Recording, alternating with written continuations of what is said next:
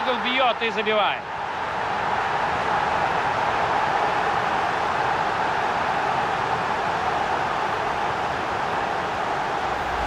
Так бывает в футболе, хотя, конечно, не каждый день игрок обороны пришел к чужим воротам и забил. Действительно редкий случай, и, возможно, этот игрок в детстве мечтал стать нападающим. Гол заслуживает того, чтобы увидеть его еще раз.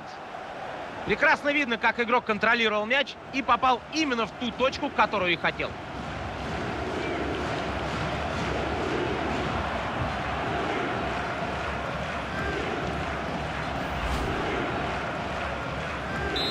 Один